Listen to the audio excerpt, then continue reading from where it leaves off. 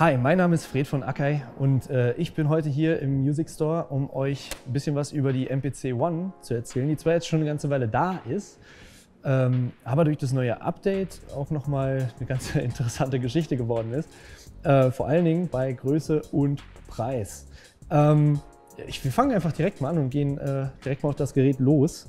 Ähm, wir haben hier ein sehr, sehr kompaktes ähm, Standalone Gerät, also eine Workstation, mit der ich mehr kann als einfach nur samplen. Ähm, denn seit geraumer Zeit hat man auch noch ein paar sehr gut klingende ähm, Software-Synthesizer, die darauf vorinstalliert sind, wie zum Beispiel ähm, Electric oder den TubeSynth. Und das macht das ganze Ding schon zu einer sehr, sehr vollwertigen äh, Box, mit der man eben eine ganze Menge machen kann. Und Jetzt ist natürlich die Frage, die sich die meisten Leute stellen, weil über die MPC X und die MPC Live haben wir uns schon tausendmal unterhalten, äh, im Endeffekt, warum jetzt die MPC One? Also was ist das für ein Gerät und warum ist das jetzt da? Naja, das Gerät, das zielt, glaube ich, ab auf die Leute, die zwar eine MPC im Studio haben wollen, aber eigentlich schon ein recht großes Outboard haben und beziehungsweise auch schon eine große Soundkarte haben und diese ganzen Anschlüsse eigentlich gar nicht brauchen und auch gar nicht mehr so viel Platz im Studio haben. Die benutzen das Gerät dann wahrscheinlich auch schon häufiger mal mit Rewire oder ähnlichen Sachen, ähm, um, um das ins eigene Studiobild quasi mit einzuarbeiten. Dann gibt es direkt auch mehrere Vorteile von dem Gerät. Erstens die Größe. Ähm, das Gerät ist super kompakt. Ähm, die Pads sind etwas kleiner, aber super taktil. Ähm, die fühlen sich tatsächlich gerade für mich auch als Fingerdrummer, ich kann es mal eben gleich vorzeigen, ähm, extrem gut an. Also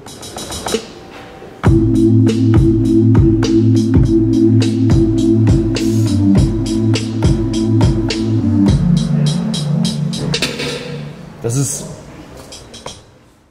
obwohl die so klein sind, sind die halt sehr, sehr griffig und man trifft die eigentlich sehr gut.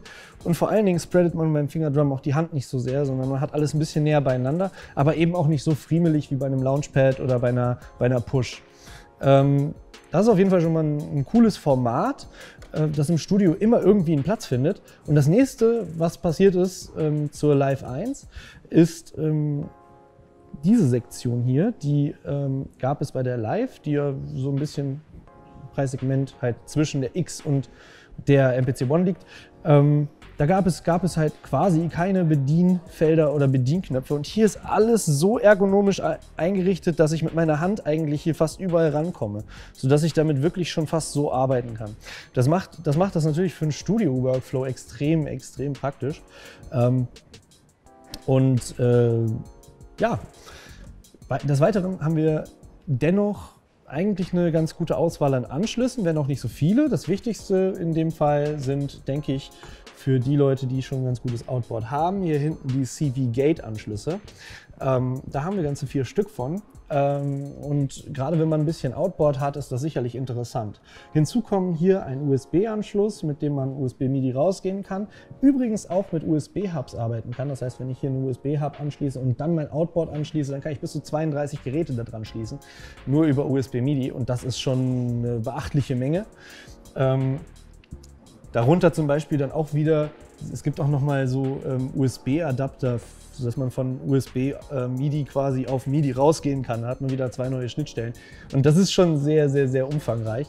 Ähm, des Weiteren habe ich hier vier Outputs. Ah Quatsch, zwei Outputs und zwei Inputs, aber ich habe auch noch zusätzlich hier vorne ein Phones Output.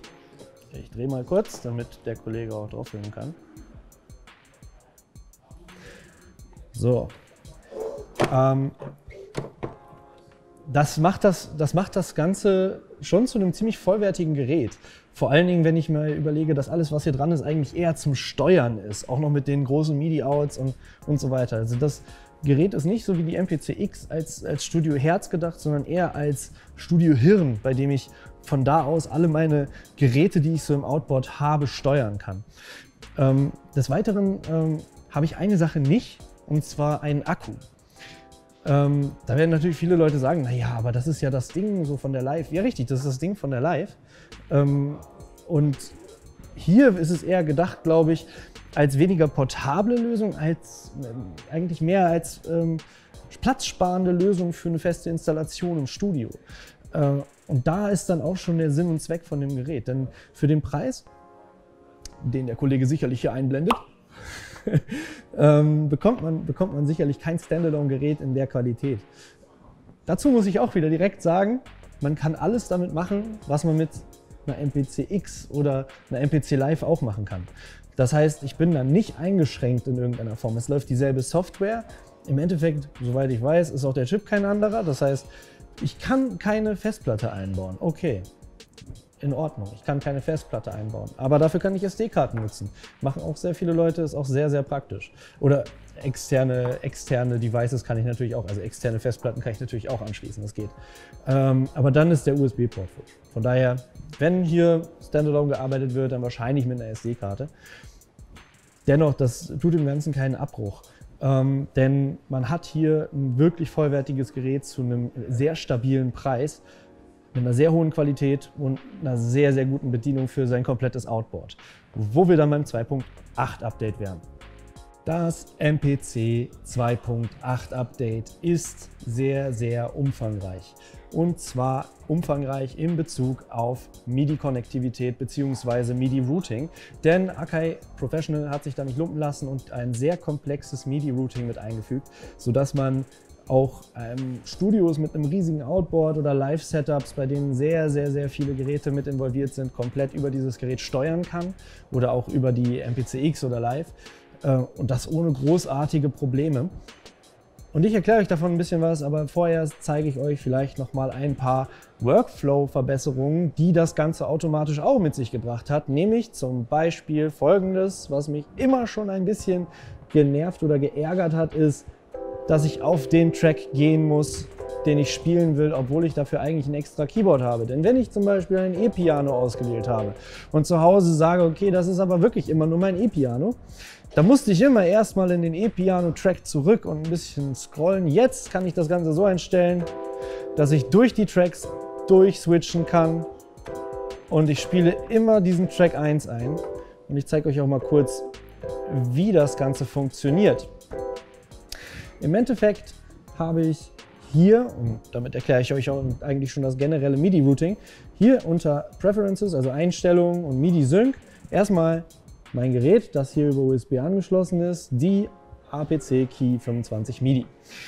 Bei der kann ich Control jetzt auch ausschalten. Ähm, Control schaltet man ein, äh, wenn man MIDI Learn benutzen möchte. Das heißt, ab da sind quasi alle Parameter, die ich hier benutze, MIDI Learn fähig.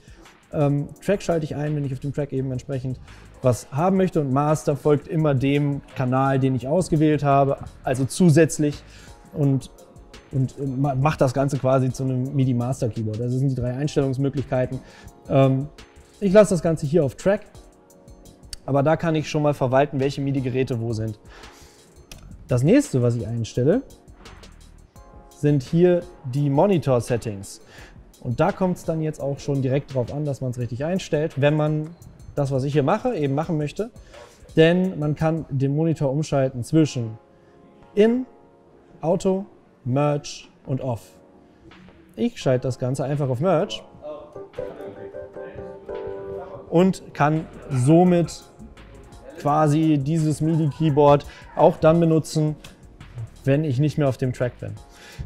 Ich habe außerdem hier auf der Seite auch noch die Möglichkeit, äh, meine MIDI-Input-Ports zu wählen. Da kann ich jetzt die MPC auswählen und kann das Ding ausklammern. Ich kann eine Remote wählen. Ich weiß gerade gar nicht, was die Remote ist hier dran. Ich glaube, wir haben gar keine. Ähm, das ist einfach nur ein MIDI-Programm, das vorinstalliert ist. Ähm, vermutlich. Man kann ja alles wissen. Äh, so, aber da kann ich meine MIDI-Settings eben auch noch machen. Was ich aber hier auch noch zusätzlich machen kann, ist, ich kann mein MIDI weiterschicken. Und das wird jeden interessieren, der gerne layert. Und ich glaube, jeder Produzent layert eigentlich auch ganz gerne. Ich kann nämlich jetzt hier sagen, ich möchte dieses MIDI-Signal schicken zu Track 3. Dafür muss ich den Track 3 aufmachen natürlich. Mach ich mal eben. Hier, Track 3. Da mache ich jetzt mal einfach, machen wir da mal rein. keine Key Group, machen wir mal ein Bassline da rein. Äh, New Program. So.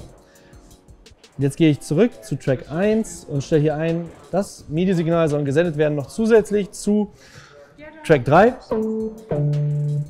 Man hört es jetzt vielleicht nicht mehr, weil der andere Synthi sehr laut ist, aber ich bediene jetzt zusätzlich noch zu dem Electric ähm, Piano einen Bass bzw. einen Synthi. Das machen wir mal wieder aus. Das ist ja nur hinderlich. Also für das, was wir jetzt machen.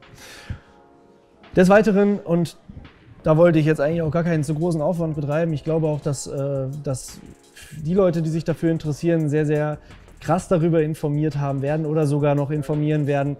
Ähm, ich habe die Möglichkeit, hier per USB bis zu 32 USB-Geräte anzuschließen und die dann entsprechend so einzustellen, dass ich ähm, jedem eine, eine eigene, eigene, ähm, einen eigenen MIDI-Track zuordne. Da habe ich 16 Stück. Ähm, und dann kann ich zum Beispiel das auch so machen, dass ich 16 kleine Keyboards theoretisch habe, mit denen ich verschiedene Instrumente immer steuere. Das heißt, da muss ich gar nicht zwischen den Tracks switchen, sondern kann mich einfach durch meine Produktion durchjammen. Das funktioniert auch. Ähm, genauso kann ich auch ähm, solche Geräte wie hier, also externe Synthesizer oder Drum Synthesizer ansteuern und die wieder reinloopen. Ähm, ich kann, wenn die das erlauben, auch meine Geräte, also meine Keyboards darauf MIDI mappen und dann Filter oder ähnliches ansteuern, wie zum Beispiel bei einer Innovation Peak. Da ist das definitiv möglich. Ähm, also die Möglichkeiten sind ziemlich unbegrenzt. Das Einzige, was man dabei immer im Betracht, äh, irgendwie im Hinterkopf behalten muss, ist, je komplexer es wird, desto mehr kann natürlich auch schief gehen. Aber wenn ich mir ein großes Setup bauen möchte mit meinen, meinen acht, neun Geräten, dann ist das mit so einem Gerät wie der MPC One definitiv eine relativ einfache, eine relativ einfache Sache.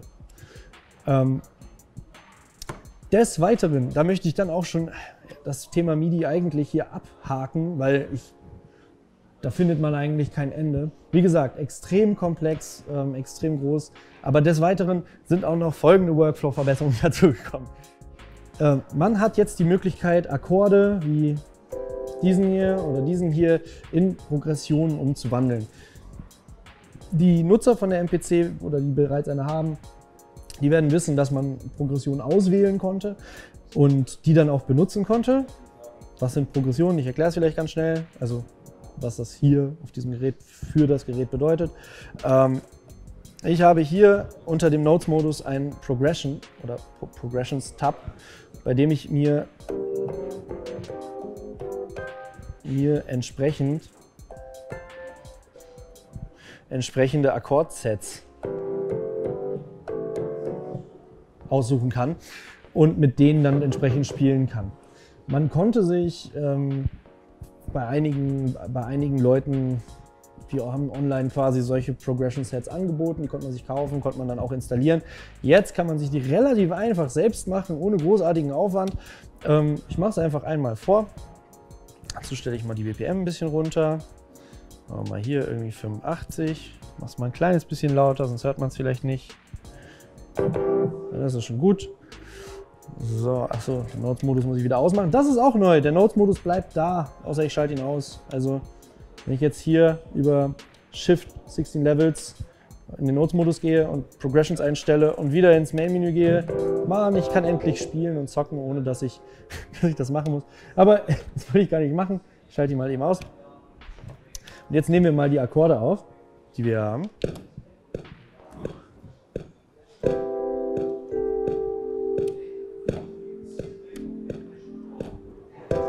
Die letzten beiden waren ein bisschen leiser, aber das können wir ja schnell einmal beheben. Gehen wir einfach in die Grid View, suchen nach unseren Übeltätern. Oh, da habe ich mich auch verspielt. Guck mal, kleine Tasten. Und wir haben ein, eine Chord Progression.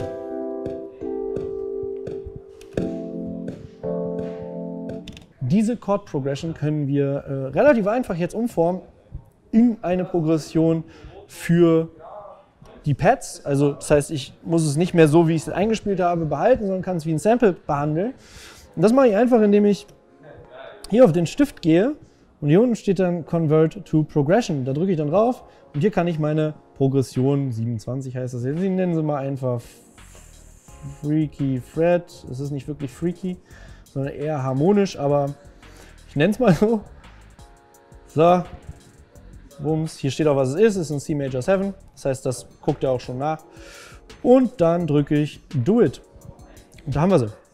Wenn ich jetzt auf Shift Note gehe, unter meine Progressions, dann finde ich hier ganz hinten, oder nee, weiter, weiter vorne, natürlich ist es natürlich alphabetisch geordnet. Immer schön die, durch die Akkorde gehend. Ich kann das auch noch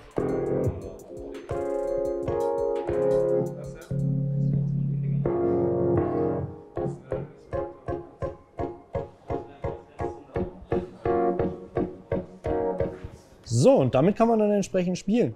Wenn wir jetzt also relativ schnell was basteln, dann gehen wir mal mit den Drums eben schnell einmal drüber.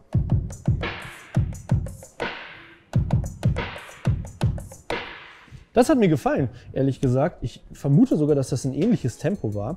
Deswegen gucken wir uns das doch mal an.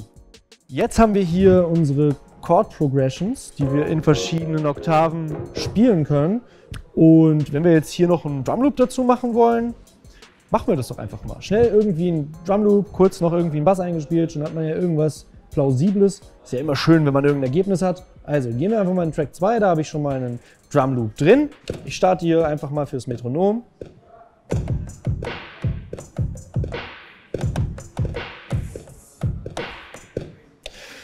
Gefällt mir irgendwie, nicht alles davon, aber auf jeden Fall ein Teil. Deswegen gehe ich jetzt obwohl ich nicht aufgenommen habe, einmal auf Shift Record und danach in unsere Grid Edit und tada, wir haben hier tatsächlich, ich mache es mal ein bisschen größer, damit man es auf der Kamera auch gut sieht, wir haben hier tatsächlich alles recorded. Das heißt, ich kann von den Sachen, die ich einfach so eingespielt habe, im Nachhinein jetzt ähm, profitieren. Die kann ich mir zurechtloopen und ich kann entsprechend gucken, ähm, dass ich damit weiterarbeite was extrem cool ist, weil ich bin jemand, der viel Finger drummt und wenn man dabei beim Jam irgendeinen geilen Rhythmus rausfindet, den man sonst irgendwie nicht geschafft hätte oder bei dem man sich nicht so sicher ist, ob man den reproduzieren könnte, dann ist das auf jeden Fall die allerbeste Sache, die einem passieren kann, nämlich, dass das Gerät das mit aufgezeichnet hat. Nachdem man das quasi recovered hat, einmal kurz quantisieren, ein bisschen nach links ziehen, so wie man das braucht, die Sachen rausnehmen, die man nicht will ähm, und man ist good to go. Man kann auch noch die Länge vom Loop einstellen, so wie man es braucht. Das war zum Beispiel nichts, da muss ich ein bisschen nachjustieren, aber auch das ist ja relativ einfach. Gucken wir mal, wo was ist. Ja, das ist die letzten waren Offbeat. Ich bin halt ein miserabler Fingertonner. Drumloop haben wir. Gehen wir einmal kurz eine Runde weiter. In die dritte Geschichte. So, dann nehmen wir uns schnell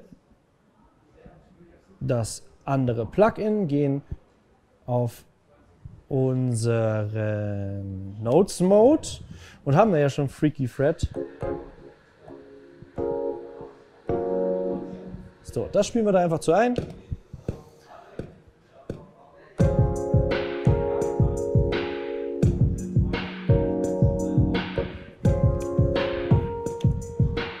Hoppala, da überlappt was.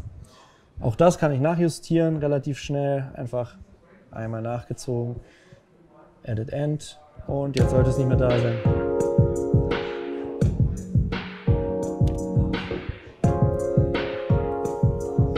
Gehen noch einen weiter.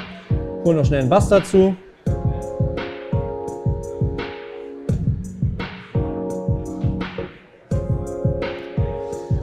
Vorteil ist natürlich jetzt, dass ich genau weiß, in was für einer Skala ich spiele, obwohl ich überhaupt gar kein Native Player bin. Das Gerät hat mir ja gesagt, ich spiele in ähm, gerade eben in, jetzt muss ich auch nochmal nachgucken, in äh, D Minor. Quatsch, D Major 7. Ja. Und kann damit entsprechend dann auch arbeiten bei der Bassline und wieder im Notes-Modus entsprechend alles einstellen. Ähm, das mache ich mal off-camera und äh, das hört ihr vielleicht im Abspann oder so, weil viel mehr habe ich zu dem Gerät jetzt gerade erstmal gar nicht mehr zu sagen. Ähm, es gibt allerdings noch viel mehr zu sagen und wenn euch das wirklich interessiert, dann gibt es sehr ausführliche Tutorial-Videos, die alle auch mittlerweile zumindest zum Großteil untertitelt sind, vom guten Andy Mack ähm, in der MPC Academy. Oder ihr kommt einfach hier vorbei und fragt einen der sehr, sehr guten Berater vom Music Store. Äh, das Gerät steht hier, Die Berater stehen da hinten und die können euch mit Sicherheit mit euren Fragen super weiterhelfen. Deswegen gebt einen Daumen, gebt ein Abo und ich wünsche euch viel Spaß äh, auf diesem Kanal. Peace!